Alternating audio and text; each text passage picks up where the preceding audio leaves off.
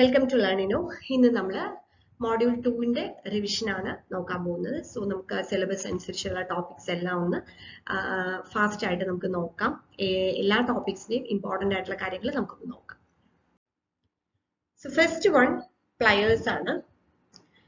So pliers നമ്മൾ കണ്ടിട്ടുണ്ട്. നമ്മളിപ്പോൾ വർക്ക്ഷോപ്പിൽ മാത്രമല്ല നമ്മുടെ വീടുകളിലൊക്കെ നമ്മൾ ഉണ്ടാവും. ചെറിയ കട്ടിംഗ് പ്ലയർ ചെറിയ ചെറിയ ഇലക്ട്രിക്കൽ വർക്ക് ചെയ്യാനൊക്കെ നമ്മൾ നോർമലി യൂസ് ചെയ്യുന്നതാണ്.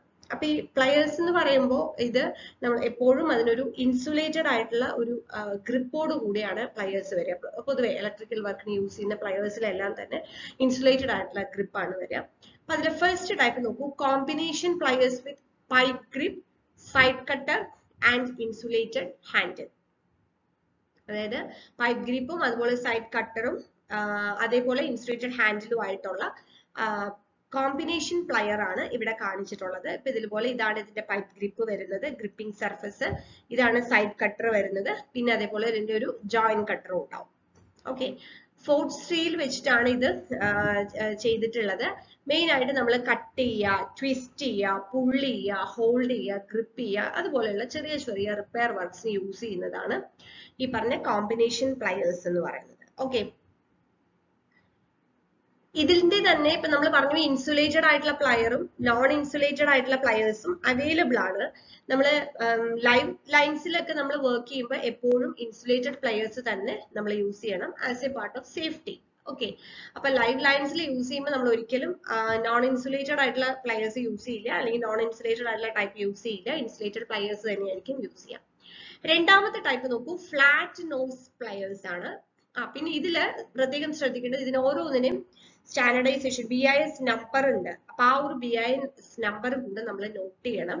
ത്രീ സിക്സ് ഫൈവ് സീറോ ആണ് കോമ്പിനേഷൻ പ്ലെയറിൽ വരുന്നത്. Three five five two four flat nose pliers ഇതിന്റെ ഓവറോൾ ഡയമെൻഷൻ ആണ് ഇവിടെ മെൻഷൻ ചെയ്തിരിക്കുന്നത് സൈസ് ഫ്ലാറ്റ് നോയ്സ് പ്ലയേഴ്സ് എന്ന് പറയുന്നത് മെയിൻ ആയിട്ട് ഫ്ലാറ്റ് ആയിട്ടുള്ള ഒബ്ജക്ട്സ് ഇപ്പോ തിൻ പ്ലേറ്റോ അങ്ങനെ എന്തെങ്കിലും ഒക്കെ ഹോൾഡ് ചെയ്യാൻ വേണ്ടിയിട്ട് യൂസ് ചെയ്യുന്നതാണ് flat nose pliers okay next one long nose pliers ഇതെല്ലാം അതിന്റെ ആ ഒരു സ്ട്രക്ചറിന്റെ ഒക്കെ ഒരു പ്രത്യേകത വെച്ചിട്ടാണ് ഓരോ പേരുകൾ വരുന്നത്.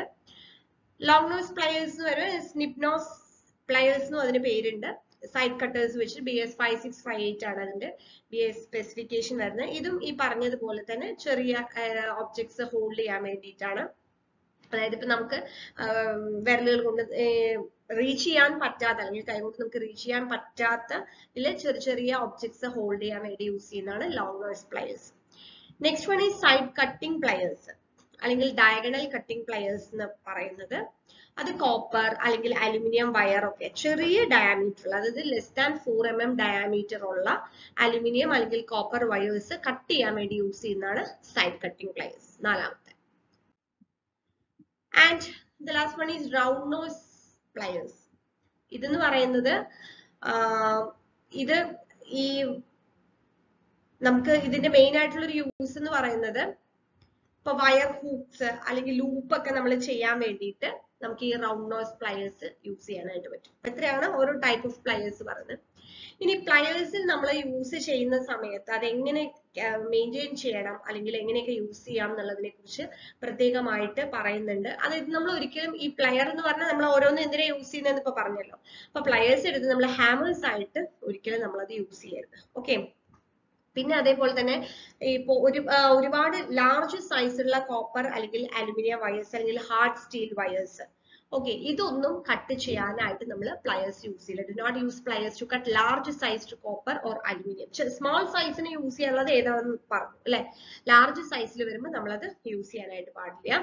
പിന്നെ അതേപോലെ തന്നെ നമുക്ക് ഈ പ്ലയർ നമ്മൾ യൂസ് ചെയ്യുന്ന സമയത്ത് അതിന് ഹാൻഡ് ഗ്രിപ്പിൽ വരുന്ന ഇൻസുലേഷൻ ഡാമേജ് ആവാതെ നമ്മൾ ശ്രദ്ധിക്കണം. പിന്നെ ഹിഞ്ചഡ് പോർഷൻസ് ഒക്കെ എപ്പോഴും ലൂബ്രിക്കേറ്റ് ചെയ്തിട്ട് യൂസ് ചെയ്യാനായിട്ട് ശ്രദ്ധിക്കണം. ഇത്രയും കാര്യങ്ങളാണ് പ്ലയേഴ്സിനെ കുറിച്ച് പറയാനുള്ളത്. ഓക്കെ അടുത്തത് നമുക്ക് സ്ക്രൂ ഡ്രൈവർ ആണ്. സ്ക്രൂ ഡ്രൈവർ എന്ന് പറയുന്നത് നമ്മൾ വളരെ കോമൺ ആയിട്ട് യൂസ് ചെയ്യുന്നതാണ് അല്ലെ? സ്ക്രൂ ഡ്രൈവർ നമ്മൾ എന്തിനാണ്? Tightening or loosening of screws screw tight ചെയ്യാനെങ്കിൽ loose loose ചെയ്യാനൊക്കെയാണ് യൂസ് ചെയ്യുന്നത്. സ്ക്രൂ ഡ്രൈവർ യൂസ് ചെയ്യുമ്പോൾ പ്രത്യേകം ശ്രദ്ധിക്കേണ്ട കാര്യം എന്താണെന്ന് വെച്ചാൽ നമ്മൾ കറക്റ്റ് ആയിട്ടുള്ള ഗ്രൂവിൽ ഫിറ്റ് ആവുന്നത് മാത്രമേ നമ്മൾ യൂസ് ചെയ്യണം. ഇല്ലെങ്കിൽ എന്താണെന്ന് വെച്ച് കഴിഞ്ഞാൽ അതിന്റെ സ്ക്രൂ ഹെഡ് പെട്ടെന്ന് ഡാമേജ് ചെയ്ത് പോകും. പിന്നെ ഇതിൽ പ്രത്യേകം ശ്രദ്ധിക്കേണ്ടത് ഓരോ സ്ക്രൂ ഡ്രൈവറിന്റെയും ലെങ്ത് എന്ന് പറയുന്നത് which is proportional to the turning force അതായത് സ്മോൾ വർക്ക് ഒക്കെ ചെയ്യാനാണെങ്കിൽ അതിന്റെ സ്യൂട്ടബിൾ സൈസിലുള്ള ചെറുതായിട്ടുള്ള സ്ക്രൂ ഡ്രൈവർ ഉണ്ടാവും വലിയ സ്ക്രൂ ഡ്രൈവർ ഉണ്ടാവും. അപ്പൊ അത് ഓരോന്നിനും നമ്മൾ ചെയ്യുന്ന വർക്കിനനുസരിച്ച് വേണം നമ്മൾ യൂസ് ചെയ്യാനായിട്ട്. പിന്നെ സ്റ്റാർ ഹെഡഡ് ആയിട്ടുള്ള സ്ക്രൂസ് ആണെങ്കിൽ അതിന് അതിന്റെതായിട്ടുള്ള സ്ക്രൂ ഡ്രൈവർ ഉണ്ടാവും. എല്ലാ സ്ക്രൂവിലും ഒരേ സ്ക്രൂ ഡ്രൈവർ വെച്ചിട്ട് നമുക്ക് എന്ത് ചെയ്യാൻ പറ്റില്ല? വർക്ക് ചെയ്യാനായിട്ട് പറ്റില്ല. ഓക്കെ അപ്പൊ അത് യൂസ് ചെയ്യുമ്പോൾ പ്രത്യേകം അതിന് കെയർ വേണം. അല്ലെങ്കിൽ ഇതിന്റെ ടിപ്പ് എന്ത് ചെയ്ത് പോകും പെട്ടെന്ന് തന്നെ ഡാമേജ് ആയിട്ട് പോകാനുള്ള ചാൻസ് ഉണ്ട്. B I S eight four four ആണ് സ്ക്രൂ ഡ്രൈവറിന്റെ ബി ഐ എസ് നമ്പർ എന്ന് പറയുന്നത്. നെക്സ്റ്റ് വൺ നിയോൺ ടെസ്റ്റർ ആണ്. എഗെയിൻ നമ്മുടെ വീട്ടിൽ തന്നെ വളരെ കോമൺ ആയിട്ട് കാണുന്ന നമ്മൾ ടെസ്റ്റർ അല്ലെ? ഇപ്പൊ ഏതെങ്കിലും വയർ നമുക്ക് അതിൽ ഈ ഇലക്ട്രിസിറ്റിയുടെ ഒരു പ്രസൻസ് നമ്മൾ അറിയാൻ വേണ്ടിയിട്ട് ചെക്ക് ചെയ്യാൻ വേണ്ടിയിട്ട് സപ്ലൈ ചെക്ക് ചെയ്യാൻ വേണ്ടിയിട്ട് നമ്മൾ യൂസ് ചെയ്യുന്നതാണ് നിയോൺ ടെസ്റ്റർ എന്ന് പറയുന്നത്. അതിൽ നോർമലി അതിന്റെ working voltage range hundred to to two fifty volts ആയിരിക്കും rated at five hundred volts okay ഇതിന്റെ അകത്ത് ഒരു ഗ്ലാസ് ട്യൂബ് അതിൽ നിയോൺ ഗ്യാസ് ആണ്. അതുകൊണ്ടാണ് ഇതിന് നിയോൺ ടെസ്റ്റർ എന്ന് പേര് വന്നിട്ടുള്ളത്. അതിനകത്തെ ഇലക്ട്രോൺസ് ഉണ്ടാവും.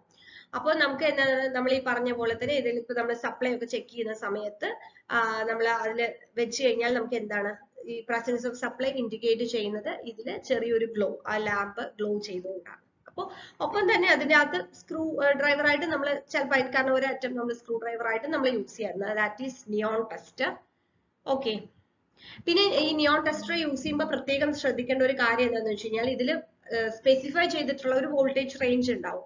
ആ റേഞ്ചിൽ വെച്ച് തന്നെ നമ്മൾ യൂസ് ചെയ്യാനായിട്ട് ശ്രദ്ധിക്കുക ഓക്കെ പിന്നെ ഇതിന്റെ സ്ക്രൂ ഡ്രൈവർ നമ്മൾ യൂസ് ചെയ്യുമ്പോൾ ചെറിയ സ്മോൾ വർക്കിന് മാത്രം അല്ലെങ്കിൽ ലൈറ്റ് ഡ്യൂട്ടി വർക്കിന് മാത്രമേ ഇത് എന്ത് യൂസ് ചെയ്യാൻ പറ്റുള്ളൂ.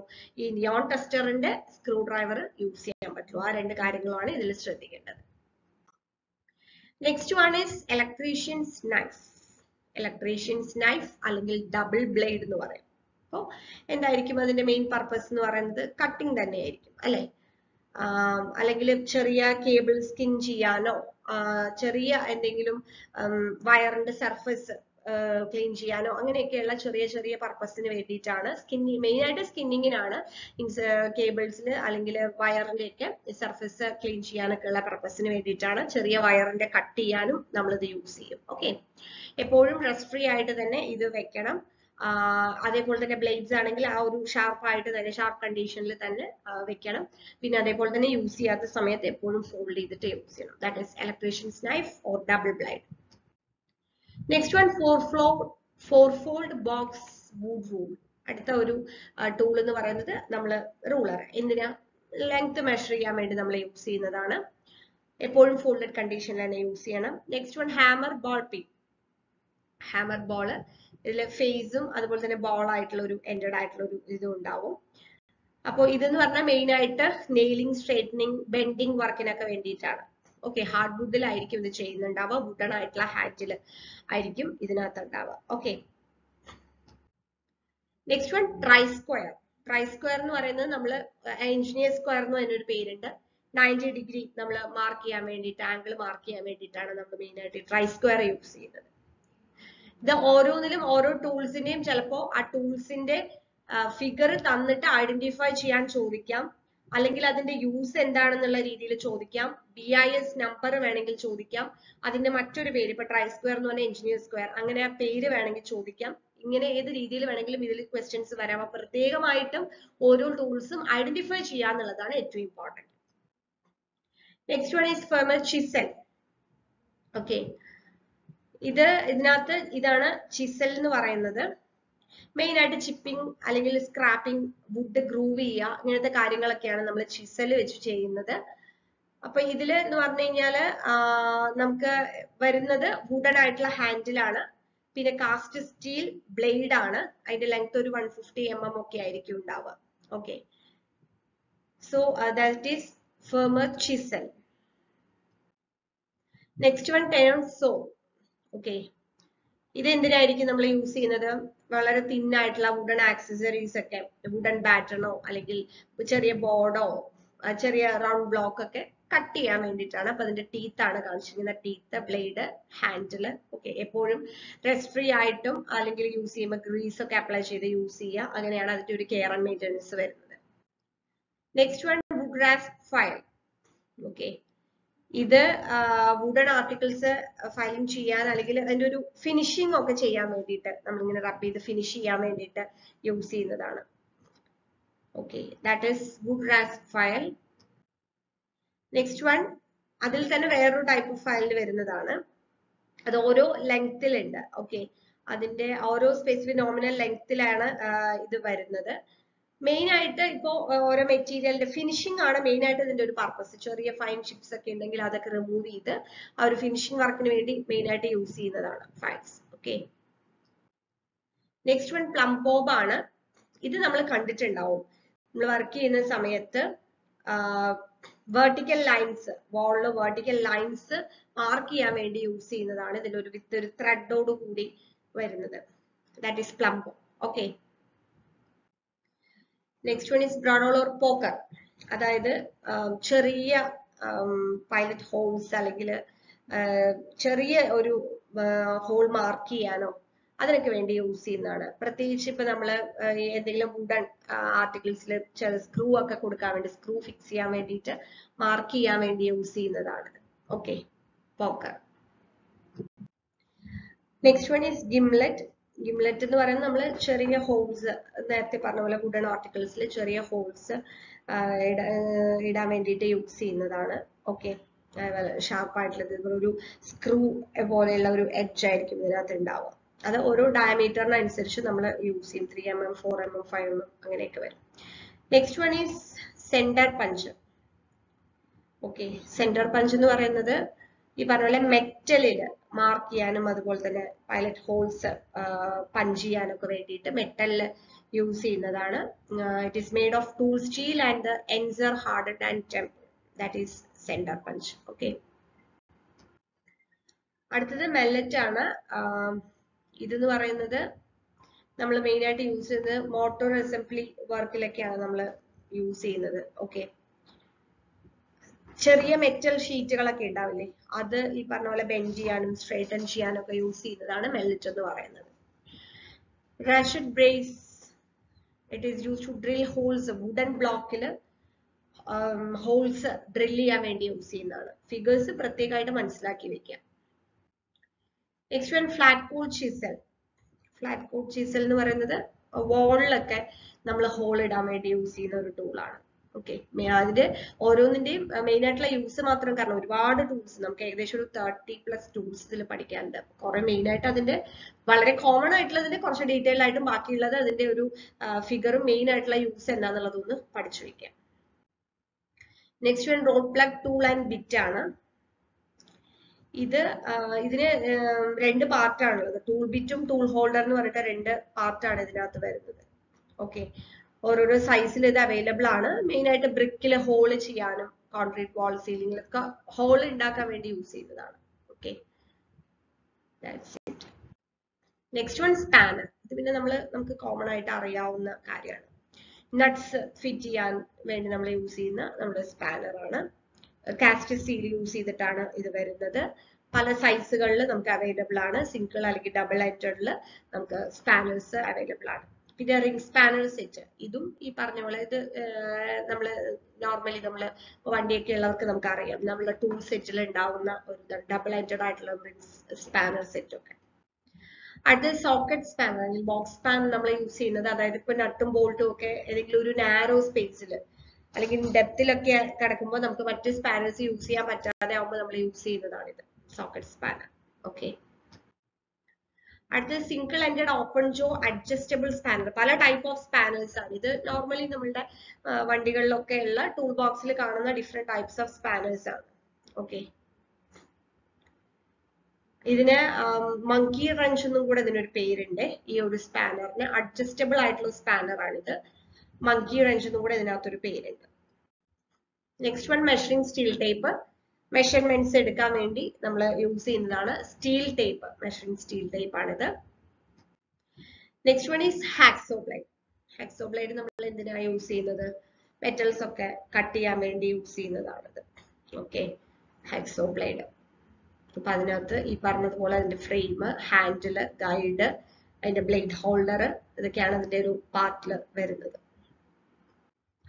നെക്സ്റ്റ് വൺ ഈസ് പിൻസേഴ്സ് വുഡിൽ നിന്ന് നെയിൽ എക്സ്ട്രാക്ട് ചെയ്യാൻ യൂസ് ചെയ്യുന്ന ഒരു ടൂളാണ് അടുത്തത് ഹാൻഡ് ഡ്രിൽ ഡ്രില്ലിംഗ് പർപ്പസിന് ചെറിയ ഹോൾസും കാര്യങ്ങളൊക്കെ മെയിൻ ആയിട്ട് ഷീറ്റിൽ അതുപോലെ വുഡൻ ആർട്ടിക്കിൾസിലൊക്കെ ഹോൾ ഇടാൻ വേണ്ടി യൂസ് ചെയ്യുന്ന hand drill and last one is portable electric drilling machine അത് ഡ്രിൽ ചെയ്യാൻ വേണ്ടി തന്നെയാണ് വുഡൺ അല്ലെങ്കിൽ മെറ്റൽ ആർട്ടിക്കിൾസിൽ ഹോൾസ് ഉണ്ടാക്കാൻ വേണ്ടിയിട്ട് യൂസ് ചെയ്യുന്നതാണ് ഇലക്ട്രിക് ഡ്രില്ലിംഗ് മെഷീനാണ് ഓക്കെ അപ്പൊ അതും ഈ പറഞ്ഞ പോലെ അതിന്റെ കെയർ മെയിന്റെനൻസ് പറയുന്ന കാര്യങ്ങളൊക്കെ ലൂബ്രിക്കേറ്റ് ചെയ്യുക കറക്റ്റ് ആയിട്ട് നമ്മൾ ഏത് പർപ്പസിന് യൂസ് ചെയ്യുന്നതാണോ അതിന് തന്നെ കൃത്യമായിട്ട് യൂസ് ചെയ്യുക അങ്ങനെയുള്ള കാര്യങ്ങളൊക്കെ ശ്രദ്ധിക്കണം. ഓക്കെ അപ്പൊ ഇത്രയാണ് നമ്മൾ മെയിൻ ആയിട്ട് വരുന്ന ഹാൻഡ് ടൂൾസ് മെയിൻ ആയിട്ട് ഇലക്ട്രിക്കൽ വർക്കിന് യൂസ് ചെയ്യുന്ന ഹാൻഡ് ടൂൾസ് ആണ് നമ്മളിവിടെ ഡിസ്കസ് ചെയ്തത്. അപ്പൊ ഞാൻ പറഞ്ഞതുപോലെ ഓരോ ടൂളും കണ്ടു കഴിഞ്ഞാൽ ഐഡന്റിഫൈ ചെയ്യാൻ പറ്റണം. അതിന്റെ യൂസ് എന്താണെന്നുള്ളത് ശ്രദ്ധിക്കുക. അതിന്റെ ബി ഐ എസ് നമ്പർ നോക്കുക. അതേപോലെ അതുമായിട്ട് റിലേറ്റ് ചെയ്തിട്ടുള്ള എന്തെങ്കിലും മറ്റു പേര് ഉണ്ടെങ്കിൽ ആ പേരുകൾ കൂടെ പഠിക്കുക ഇത്രയും കാര്യങ്ങളാണ് ഇതിൽ പഠിക്കേണ്ടത്. താങ്ക് യു നമ്മുടെ സ്റ്റാൻഡർഡൈസേഷൻ എന്ന് പറയുമ്പോൾ നമ്മൾ ഒരു പർട്ടിക്കുലർ ആയിട്ടുള്ള റൂൾസ് നമ്മൾ അപ്ലൈ ചെയ്യുക. അതായത് ഇപ്പോൾ ഓരോ ഇലക്ട്രിക്കൽ അപ്ലയൻസസിലാണെങ്കിലും അല്ലെങ്കിൽ ഏത് ഇലക്ട്രിക്കൽ അപ്ലയൻസസ് എന്നല്ല ഏതാണെങ്കിലും ഇപ്പോൾ മാർക്കറ്റിൽ നമുക്ക് അവൈലബിൾ ആയിട്ടുള്ളതിനൊക്കെ ഈ പറഞ്ഞ പോലെ ഓരോ സ്റ്റാൻഡേർഡ്സ് ഉണ്ടാവും. ഇപ്പൊ യൂസറിനും മാനുഫാക്ചറിനും ഒക്കെ അതിന്റെതായിട്ടുള്ള ബെനിഫിറ്റ്സ് ഉണ്ടാവും. ഓക്കെ ഇപ്പൊ നമ്മൾ മെറ്റീരിയൽസ് ടൂൾസ് എക്യുപ്മെന്റ്സ് ഇതിനൊക്കെ ഓരോ കൺട്രീസിലും ഓരോ സ്റ്റാൻഡർഡൈസേഷനും അതിന് വേണ്ടിയിട്ടുള്ള ഓർഗനൈസേഷൻസ് ഉണ്ട്. ഇന്റർനാഷണൽ ആയിട്ടുള്ളതാണ് ഇന്റർനാഷണൽ ഓർഗനൈസേഷൻ ഓഫ് സ്റ്റാൻഡർഡൈസേഷൻ നമ്മൾ ഐ എസ് ഒ എന്ന് പറയുന്ന ഐ എസ് ഒ കൃത്യമായിട്ട് നമ്മൾ ഒരു ഐ എസ് ഒ നമ്പർ ഉണ്ടാവും ഓരോ പ്രോഡക്ട്സിനാണെങ്കിലും അതിന്റെതായിട്ടുള്ള ഐ എസ് ഒ നമ്പർ ഉണ്ടാവും അല്ലേ? അതിൽ ഐ എസ് ഒ മാത്രമല്ല ഓരോ രാജ്യങ്ങൾക്ക് തന്നെ പ്രത്യേകമായിട്ട് സ്റ്റാൻഡർഡൈസേഷൻ വരും. അപ്പൊ നമുക്ക് അത് ഏതൊക്കെയാ നോക്കാം. ഓക്കെ ഇപ്പൊ ഇന്ത്യയിലാണെന്നുണ്ടെങ്കിൽ ഇന്ത്യൻ ഗുഡ്സ് നമ്മൾ സെൽ ചെയ്യുന്ന സമയത്ത് ലോക്കൽ അല്ലെങ്കിൽ ഇന്റർനാഷണൽ മാർക്കറ്റിൽ നമ്മൾ സെൽ ചെയ്യുന്ന സമയത്ത് സ്റ്റാൻഡർഡൈസേഷൻ എസെൻഷ്യൽ ആണ്. ഓക്കെ അപ്പൊ അതിന് വേണ്ടിയുള്ളതാണ് bureau of Indian standard I S I mark എന്ന് നമ്മൾ പറയില്ലേ? ബ്യൂറോ ഓഫ് ഇന്ത്യൻ സ്റ്റാൻഡേർഡ് എന്നാണ് അതിന്റെ ഫുൾ ഫോം പിന്നെ നമുക്ക് ഇന്റർനാഷണൽ ആയിട്ടുള്ളതാണ് ഇന്റർനാഷണൽ സ്റ്റാൻഡേർഡ് ഓർഗനൈസേഷൻ പിന്നെ അത് കൂടാതെ ജപ്പാനിലുള്ളതാണ് Japanese industrial standard J I S പിന്നെ British standards institution B S I ഉണ്ട്. പിന്നെ അതേപോലെ തന്നെ ഓരോ ഇതിലെ American standard organisation A S A അങ്ങനെ ഓരോ രാജ്യങ്ങളിലും വരുന്നുണ്ട്. ഓരോ റെസ്പെക്റ്റീവ് കൺട്രീസിൽ അതിന്റെതായിട്ടുള്ള സ്റ്റാൻഡേർഡൈസേഷൻ ക്രൈറ്റീരിയയും കാര്യങ്ങളും ഉണ്ട്. അതല്ലാതെയുള്ള ഇന്റർനാഷണൽ ആയിട്ടുള്ളത് ഇന്റർനാഷണൽ സ്റ്റാൻഡേർഡ് ഓർഗനൈസേഷൻ എന്ന് പറയുമ്പോൾ ജസ്റ്റ് ആ ഒരു ഫുൾ ഫോംസ് ഒന്ന് നോക്കി വയ്ക്കുക പിന്നെ നമുക്ക് അറിഞ്ഞിരിക്കേണ്ട ഒരു കാര്യമാണ് national electrical code twenty twenty eleven that is two zero one one ഇതിൽ വരുന്നത് നമുക്ക് ഓരോ ഇലക്ട്രിക് ഇലക്ട്രിക്കൽ ഇൻസ്റ്റാളേഷൻ പ്രാക്ടീസിന് റിലേറ്റ് ചെയ്തിട്ടുള്ള കുറെ കാര്യങ്ങളാണ് ഇതിൽ വരുന്നത്. അതിൽ എട്ട് പാർട്ടുകളുണ്ട്. ഓരോ പാർട്ടിലും ഡിഫറെന്റ് സെക്ഷൻസ് ഉണ്ട്. അപ്പൊ ഓരോ സെക്ഷനിലും അതിനെ കുറിച്ച് എന്ത് കാര്യങ്ങളാണ് അതിൽ റെഫർ ചെയ്യേണ്ടതെന്നാണ് ഓരോ സെക്ഷനിലും പറയുന്നത്. അപ്പൊ ജസ്റ്റ് ആ ഒരു സെക്ഷൻ നമ്പറും അതിൽ എന്ത് വരുന്നു എന്നുള്ളത് ജസ്റ്റ് ഒന്ന് റീഡ് ഔട്ട് ചെയ്ത് പോവാം. ദാറ്റ് ഈസ് സെക്ഷൻ വണ്ണിൽ സെക്ഷൻ വണ്ണിൽ വരുന്നത് describes scope of N E C പിന്നെ സെക്ഷൻ ടൂൽ definition of items with reference പിന്നെ section three covers graphical symbols for diagram letters, symbols and signs അടുത്തതിൽ സെക്ഷൻ ഫോറിലാണെങ്കിൽ പ്രിപ്പറേഷൻ ഓഫ് എങ്ങനെ ഡയഗ്രാം ചാർട്ട് ടേബിൾ അതൊക്കെ പ്രിപ്പയർ ചെയ്യണം. Section five covers units and system of measurement section six covers standard values of A C and C distribution voltage അത് related ആയിട്ടുള്ള കാര്യങ്ങൾ fundamental principles of design section seven section എയ്റ്റിലാണെങ്കിൽ characteristics of building and electrical installation section 9 വരുന്നത് and construction requirement 10 general requirement associated with the circuit calculator section 11 uh, requirements of installation work relating to building services section 12 covers general criteria for selection uh, selection of equipment section 13 general principles of installation and guidelines on initial testing uh, section 14 uh, uh, general requirements associated with earthing 15 guidelines of basic electrical aspects of lighting protective system. Then section 16 covers the protection requirement in low voltage electrical installation. Section 7 covers causes for low power factor and guidelines for use of capacitor. 18 covers aspects to be considered for selection of equipment for energy conservation point of view. And 19 safety procedures and practices 20 frequently referred tables in electrical engineering. ഞാൻ just ഇത് വായിച്ചു പോയത് ഓരോ സെക്ഷനിൽ ഇത് വരും എന്നുള്ളത് അറിയാൻ വേണ്ടിയിട്ടാണ്. ജസ്റ്റ് ഒരു അറിവിലേക്ക് പറഞ്ഞു എന്നേ ഉള്ളൂ. സ്റ്റാൻഡേർഡ്സിനെ കുറിച്ച് നമ്മൾ അറിയുമ്പോൾ ഈ ഒരു കാര്യം കൂടെ ഒന്ന് നോക്കി വെക്കുക. ഓക്കെ നെക്സ്റ്റ് നമുക്ക് വരുന്ന ടോപ്പിക് ഫണ്ടമെന്റൽസ് ഓഫ് ഇലക്ട്രിസിറ്റി ആണ്. അപ്പൊ ഇതിനകത്ത് നമ്മൾ ബേസിക് ആയിട്ടുള്ള കുറച്ച് ടേംസ് യൂണിറ്റ്സ് അതേപോലെ വോൾട്ടേജ് റെസിസ്റ്റൻസ് ഓംസ് ലോ പിന്നെ സർക്യൂട്ട് സീരീസ് പാരലായിട്ട് കണക്ട് ചെയ്യുമ്പോൾ എങ്ങനെയാ വരിക? ക്രിച്ച് ലോ ഇത്രയും കാര്യങ്ങളാണ് നമുക്ക് ഫണ്ടമെന്റൽസ് ഓഫ് ഇലക്ട്രിസിറ്റി എന്ന് ക്വസ്റ്റ്യൻസ് വരിക. അപ്പൊ ഇതിൽ ആദ്യം ഞാൻ കുറച്ച് പോയിന്റ്സ് കൊടുത്തിട്ടുണ്ട്. എന്താണ് ഇലക്ട്രിക് കറണ്ട് എന്നുള്ളതിന്റെ ഒരു ഡെഫിനേഷൻ നമുക്കറിയാം ഒരു കണ്ടക്ടറിലൂടെ ചാർജ് ഫ്ലോ ചെയ്യുമ്പോൾ അതിനെ നമ്മൾ ഇലക്ട്രിക് കറണ്ട് ആയിട്ട് നമ്മൾ പറയുന്നത്. പിന്നെ ഇലക്ട്രിക് കറണ്ടിന് എപ്പോഴും കണ്ടിന്യൂസ് അല്ലെങ്കിൽ ക്ലോസ്ഡ് പാത്ത് ആയിരിക്കും ഉണ്ടാവുക. അത് നമുക്കറിയാം. ഇലക്ട്രിക് ചാർജിന്റെ എസ് ഐ യൂണിറ്റ് കൂളും അതുപോലെ ഒരു കൂളുംബ് എന്ന് പറയുന്നത് it is equal to charge contained closely six into ten raise to eighteen ഇലക്ട്രോൺസിലുള്ളതാണ് charge നമ്മൾ വൺ കൂളുംബ് എന്ന് പറയുന്നത്. ഇലക്ട്രിക് കറണ്ടിന്റെ യൂണിറ്റ് ആംബിയേഴ്സ് എ റെപ്രസെന്റ് ചെയ്യുന്നത്. ആൻഡ് വൺ ആംബിയർ എന്ന് പറയുമ്പോൾ നമുക്ക് എന്ത് പറയാം? വൺ കൂളും പെർ സെക്കൻഡ് അല്ലെ? ചാർജ് അതായത് കറണ്ട് എന്ന് പറയുന്നത് ചാർജ് പെർ സെക്കൻഡ് ആയിട്ടാണ് നമ്മൾ പറയാം വൺ ആംപിയർ എന്ന് പറഞ്ഞു കഴിഞ്ഞാൽ flow of one coulomb of charge per second ആയിട്ടാണ് പറയുന്നത്. പിന്നെ ഇലക്ട്രിക് കറണ്ട് നമ്മൾ മെഷർ ചെയ്യാൻ യൂസ് ചെയ്യുന്ന ഇൻസ്ട്രുമെന്റ് ആംബിയേറ്റർ ഇലക്ട്രിക് കറണ്ട് എപ്പോഴും ഒരു coil positive terminal to negative terminal ആയിരിക്കും ഫ്ലോ ചെയ്യുന്നത്. ഇത്രയും കാര്യങ്ങളാണ് ഈ ഒരു ഇമ്പോർട്ടന്റ് പോയിന്റ്സ് ആയിട്ട് പറഞ്ഞത്. ഇനി നമുക്ക് അങ്ങോട്ട് വോൾട്ടേജ് അതുപോലെ തന്നെ റെസിസ്റ്റൻസ് ലോസ് ഓഫ് റെസിസ്റ്റൻസ് പിന്നെ സീരീസ് പാരൽ ആയിട്ടുള്ള സർക്യൂട്ടിൽ എങ്ങനെ റെസിസ്റ്റൻസ് സീരീസും പാരൽ ആയിട്ട് നമ്മൾ കണക്ട് ചെയ്യുമ്പോൾ എങ്ങനെയാണ് അതിന്റെ ഇക്വാലന്റ് വാല്യൂസ് വരുന്നത്?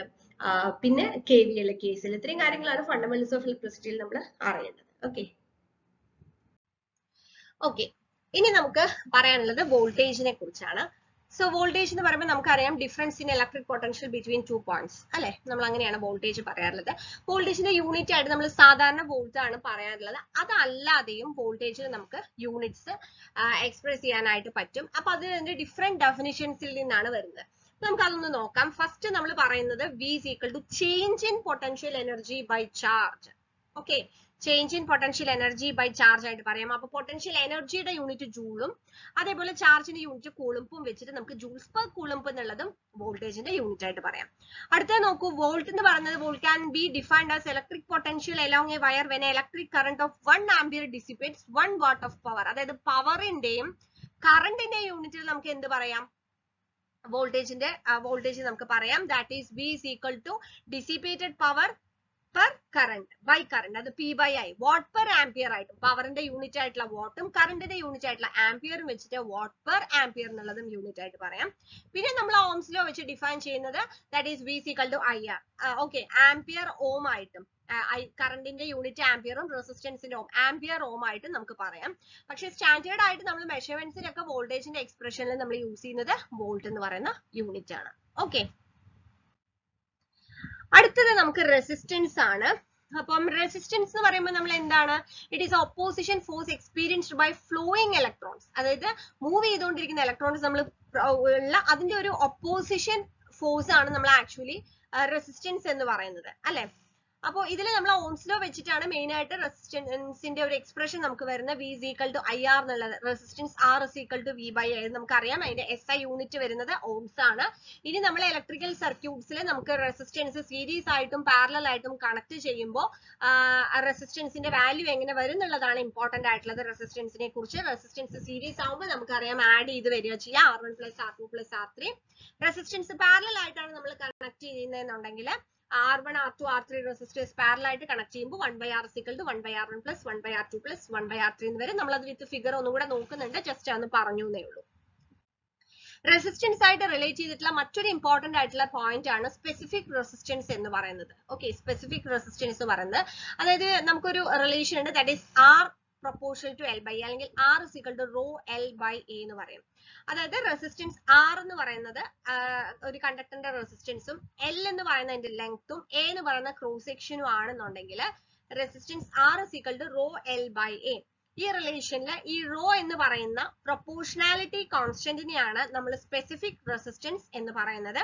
സ്പെസിഫിക് റെസിസ്റ്റൻസിന്റെ എസ് ഐ യൂണിറ്റ് എന്ന് പറയുന്നത് ഓമീറ്റർ ആണ്.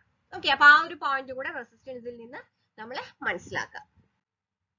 അടുത്ത ഇമ്പോർട്ടന്റ് ആയിട്ട് നമുക്ക് വരുന്നത് എനർജിയും പവറും തമ്മിലുള്ള ഒരു കമ്പാരിസൺ ആണ് വെച്ചിരിക്കുന്നത്. അപ്പൊ അതിൽ ഇമ്പോർട്ടന്റ് പോയിന്റ്സ് ഏതൊക്കെയാന്ന് നോക്കാം. So first of all energy it is defined as a capacity to do work അല്ലെ? പവർ എന്ന് പറയുന്നതോ it is defined as a rate at which specific work is done okay or which energy is transmitted അതിനാണ് നമ്മൾ അതിന്റെ power എന്ന് പറയുന്നത്. ഇനി unit നോക്കുകയാണെങ്കിൽ എനർജിയുടെ യൂണിറ്റ് ജൂൾസ് എർഗ്സ് കലോറീസ് ഇതെല്ലാം എനർജിയുടെ യൂണിറ്റ് ആണ്. അത് ചിലപ്പോൾ ചോദിച്ച് കണ്ടിട്ടുണ്ട്. എർഗ് എന്ന് പറയുന്ന ഏതിന്റെ യൂണിറ്റ് ആണെന്നുള്ളത്. പവർ നമ്മൾ പറയുന്നത് മെഷർ ചെയ്യുന്ന വാട്ട് അല്ലെങ്കിൽ ജൂൾസ് പെർ സെക്കൻഡിലാണ് ഇ വെച്ചിട്ടാണ് നമ്മൾ സിംപ്ലൈസ് ചെയ്യുന്നത് എനർജി പി വെച്ചിട്ടാണ് പവറിനെ നമ്മൾ പറയുന്നത്. ഇനി energy changes from one form to another അല്ലെ? ഒരു ഫോമിൽ നിന്ന് മറ്റൊരു ഫോമിലേക്ക് നമുക്ക് എനർജി എന്ത് ചെയ്യാൻ പറ്റും? ചേഞ്ച് ചെയ്യാൻ പറ്റും. പക്ഷെ പവർ അങ്ങനെ നമുക്ക് ട്രാൻസ്ഫോം ചെയ്യാൻ പറ്റുന്ന ഒരു ക്വാണ്ടിറ്റി അല്ല. ഇതിന്റെ എനർജിയുടെ ഡിഫറെന്റ് ടൈപ്സ് ആണ് നമ്മൾ kinetic energy potential energy electromagnetic energy light energy അങ്ങനെയൊക്കെ പറയാം. പവർ നമുക്ക് പവറിന്റെ എന്ന് പറഞ്ഞാൽ ഇലക്ട്രിക് പവർ ഒപ്റ്റിക് പവർ അങ്ങനെ പല ഇതിൽ നമ്മൾ പവറിനെ ഡിഫൈൻ ചെയ്ത് പോകുന്നുണ്ട്. ഓക്കെ അപ്പൊ ബേസിക് ആയിട്ട് എനർജി ആൻഡ് പവർ തമ്മിലുള്ള ഒരു ഡിഫറൻസ് ആണ് നമ്മളിപ്പം പറഞ്ഞത്.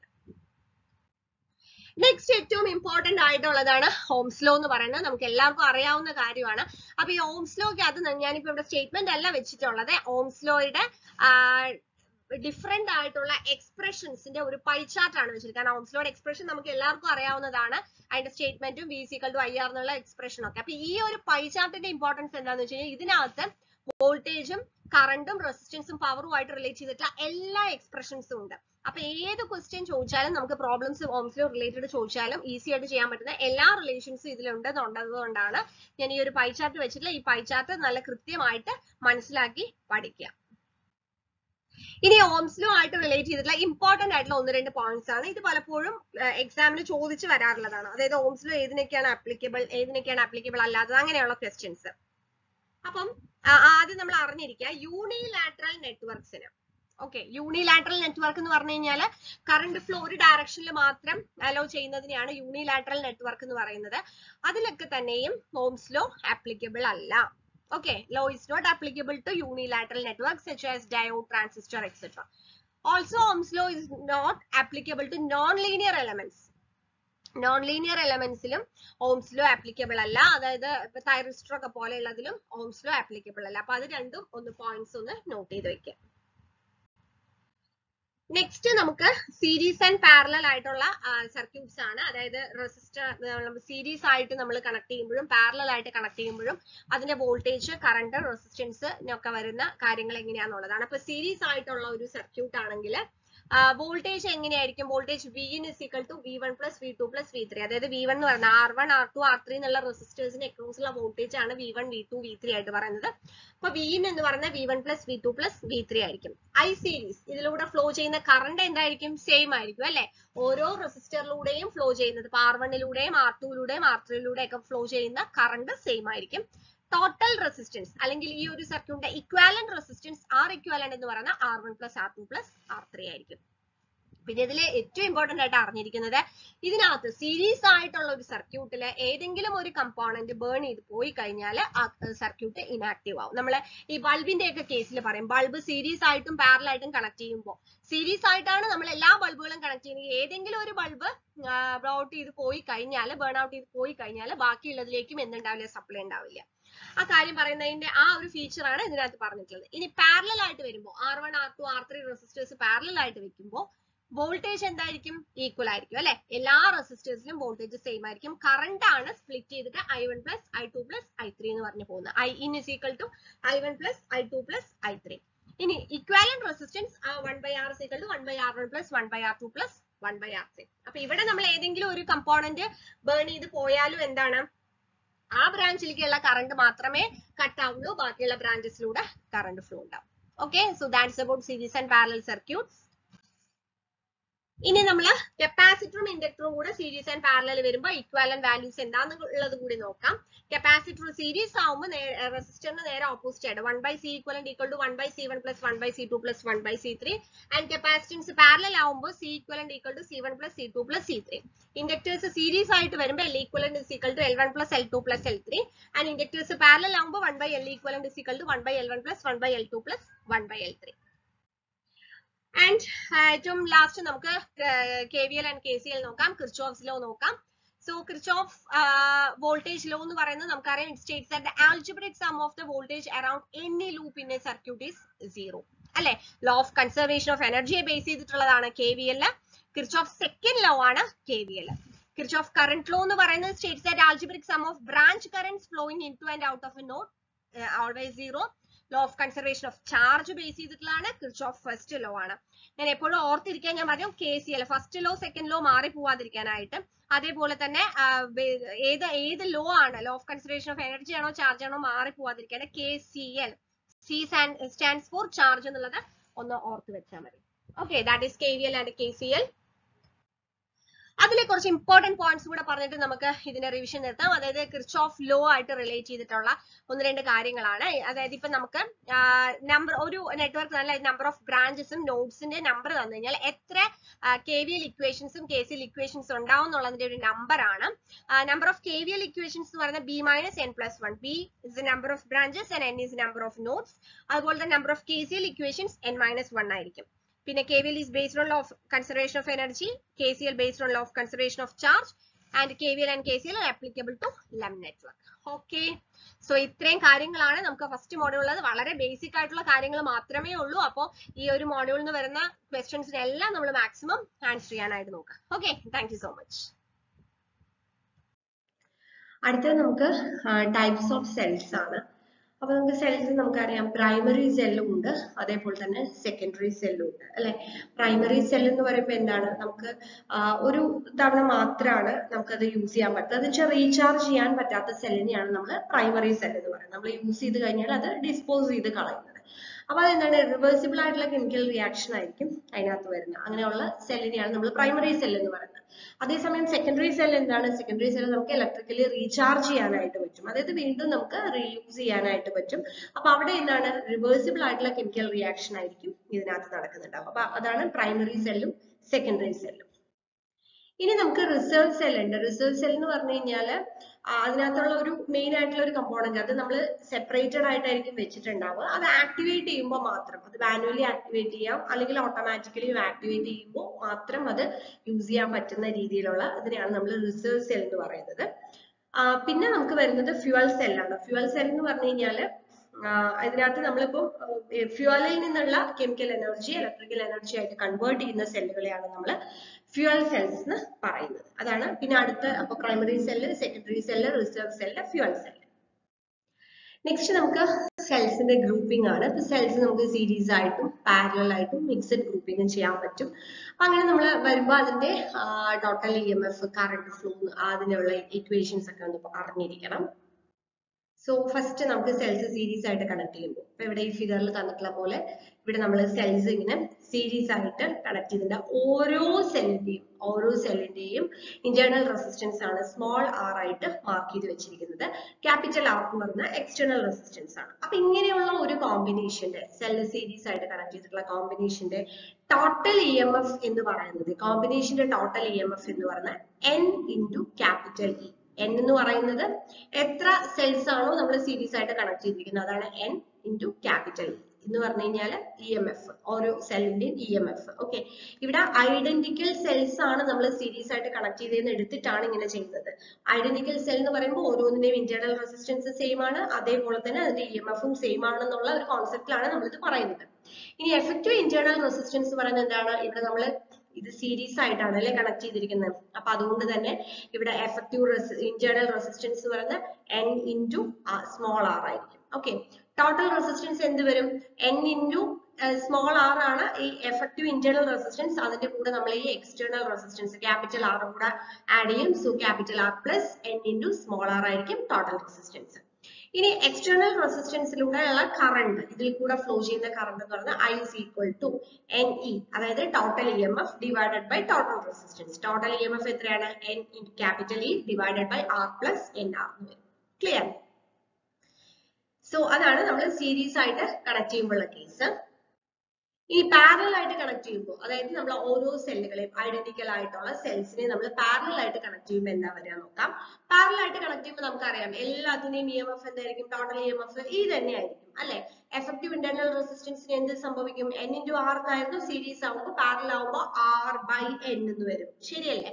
ഇനി ടോട്ടൽ റെസിസ്റ്റൻസ് സർക്യൂട്ടിലെ ടോട്ടൽ റെസിസ്റ്റൻസ് എന്തായിരിക്കും? Capital R plus R by N effective internal resistance R by N plus external resistance capital R ആയിരിക്കും total resistance of the circuit and external resistance ലൂടെയുള്ള current I is equal to E by capital R plus small r divided by N parallel ആയിട്ട് connect ചെയ്യുമ്പോൾ എങ്ങനെ വരും എന്നുള്ളതാണ് ഇനി അടുത്തതാണ് mixed grouping mixed grouping എന്ന് പറഞ്ഞു കഴിഞ്ഞാൽ സീരീസ് ആയിട്ടും കണക്ട് ചെയ്തിട്ടുണ്ടാവും പാരലൽ ആയിട്ടും കണക്ട് ചെയ്തിട്ടുണ്ടാവും. അപ്പൊ ഇവിടുത്തെ കേസിൽ എങ്ങനെ വരാൻ നോക്കാം. ഇവിടെ ഇപ്പൊ ഇതെല്ലാം ഐഡന്റിക്കൽ സെൽസ് ആണ്. അപ്പൊ അതിൽ റോ ആയിട്ട് കണക്ട് ചെയ്തിട്ടുണ്ട്. അപ്പൊ ഇതിൽ ഈ- ടോട്ടൽ ആയിട്ട് ഇപ്പൊ ഇവിടെ എൻ ഇന്റു ഇ എന്നായിരിക്കും ഡി എം എഫ് ഓരോന്നിലും ഇ ആണ് വരുന്നത്. ഓക്കെ അപ്പോ ഇക്വാലന്റ് ഇ എം എഫ് ഈ കോമ്പിനേഷന്റെ ഇക്വാലന്റ് ഇ എം എഫ് എന്ന് പറയുന്നത് എന്തായിരിക്കും? എൻ ഇ ആയിരിക്കും. കാരണം ഇതിലെ ഓരോ ബ്രാഞ്ചിലും എൻ ഇന്റു ഇ ആയിരിക്കും. അല്ലെ? ഇതിലിപ്പോ ഇ എം എഫ് ഇവിടെ ഇ ഇ ഇ അപ്പോ എൻ ഇന്റു എത്ര എണ്ണം ഉണ്ടോ? എൻ ഇന്റു ഇ അങ്ങനെ ഓരോ ഇതിലും ഓരോ പാരലൽ ഈ ഓരോ ബ്രാഞ്ചിലും എൻ ഇ ആയിരിക്കും. അപ്പൊ equivalent E M F of the combination എന്ന് പറയുന്നതും എൻ ഇന്റു ഇ അതായത് എഫക്റ്റീവ് ആയിട്ടുള്ള ഇ എം എഫ് ഇനി ഇക്വാലന്റ് ഇന്റേണൽ റെസിസ്റ്റൻസ് എന്തായിരിക്കും? ഇക്വാലന്റ് റെസിസ്റ്റൻസ് പറഞ്ഞ് ഇപ്പൊ നമുക്ക് ഇവിടെ നമ്മൾ കണക്ട് ചെയ്തിരിക്കുന്നത് എം റോസ് ആണെന്ന് വിചാരിക്കാം.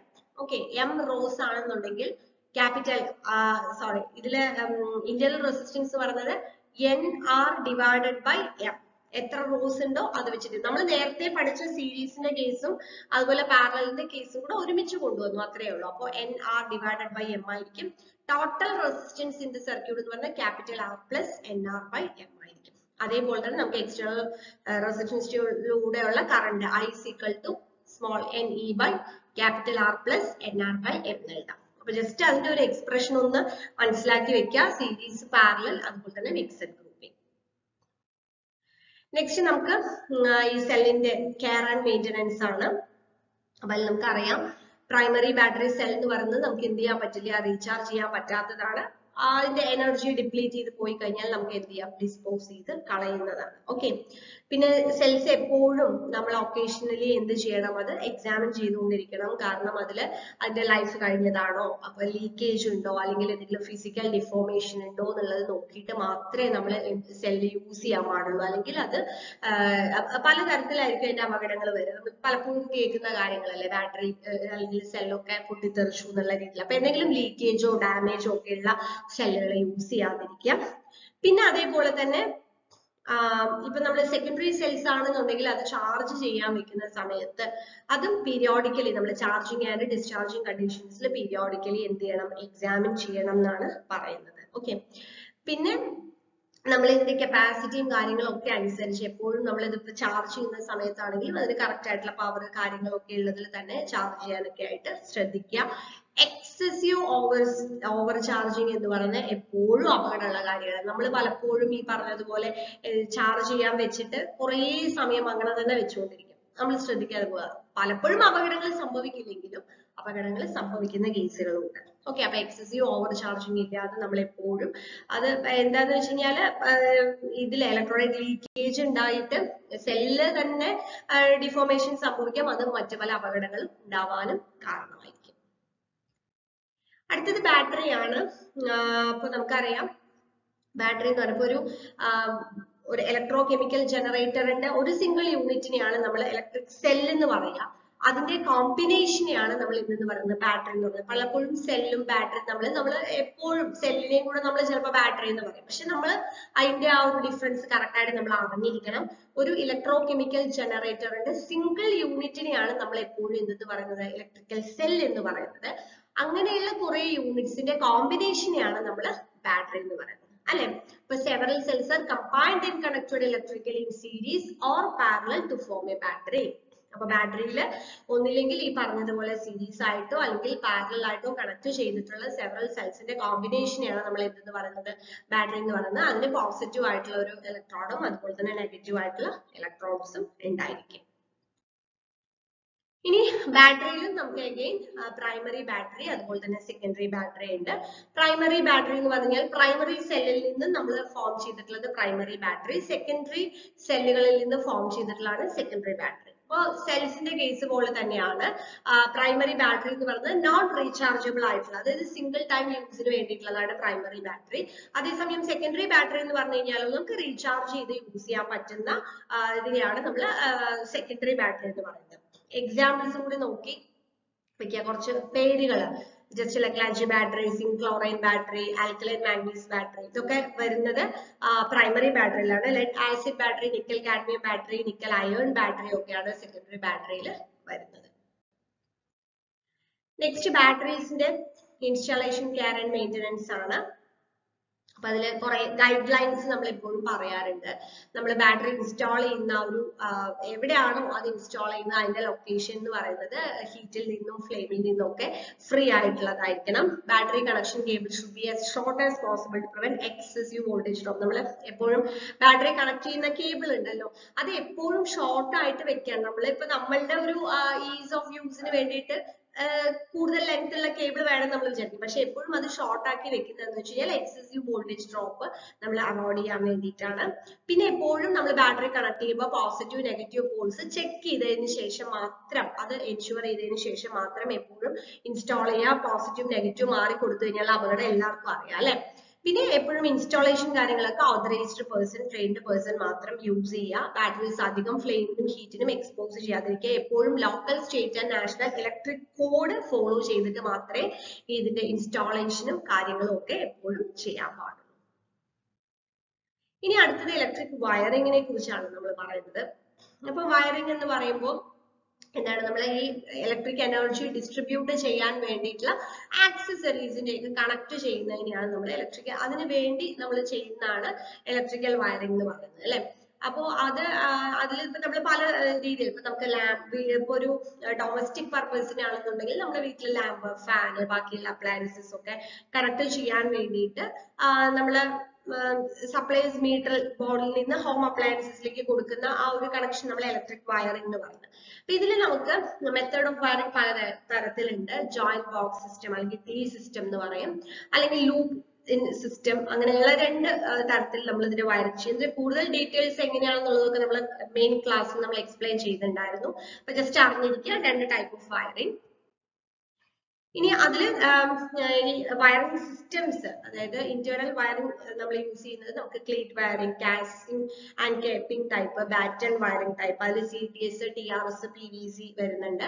പിന്നെ കോൺട്യൂട്ട് വയറിംഗ് സർഫേസ് അല്ലെങ്കിൽ ഓപ്പൺ കോൺട്യൂട്ടും അതിൽ കൺസീൽ അല്ലെങ്കിൽ ഗ്രൗണ്ട് ടൈപ്പ് കോൺട്യൂട്ട് അങ്ങനെ പറഞ്ഞിട്ടുള്ള കുറെ അധികം വയറിംഗ് സിസ്റ്റംസും ഇതിനകത്ത് വരുന്നുണ്ട്.